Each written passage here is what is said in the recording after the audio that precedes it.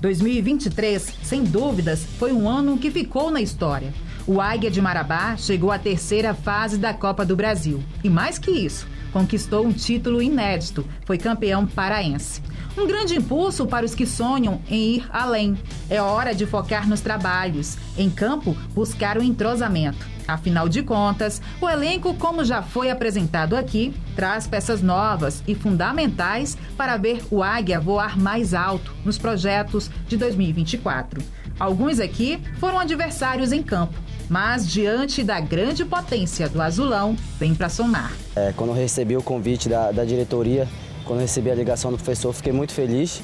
É, como você falou, já vim aqui jogar contra, sei como funciona, sei do calor da torcida e espero que agora jogando a favor a torcida possa também estar tá nos apoiando, estar tá lotando o estádio, para que a gente possa fazer do nosso estádio aí um caldeirão e conseguir todos os nossos objetivos dentro e fora de casa. O atacante Elielton também fala como vem trabalhando para a Supercopa Parazão. Trabalhando forte fisicamente, é, o professor já começou a trabalhar ali taticamente também e estamos focados, é, já queremos começar o ano com, com o pé direito, já com, com uma taça, né? É, trabalhar forte para que essa taça fique aqui em Marabá e que a gente possa comemorar o nosso primeiro título aí do ano.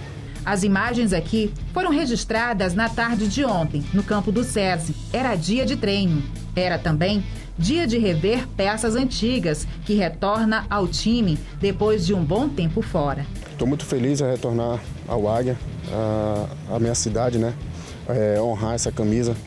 Eu venho honrado os anos atrás que eu vesti essa camisa. É, e trabalhar o máximo, né? é, juntamente com o nosso grupo aí, para manter o Águia no, no cenário nacional, que é, que é, esse cenário que o Águia vai jogar, a Série D, Copa do Brasil, Copa Verde. É isso que o torcedor merece, entendeu? E vamos buscar o objetivo que é o acesso da Série C. Em janeiro, o Águia de Marabá entra em uma disputa de título com o Canaã.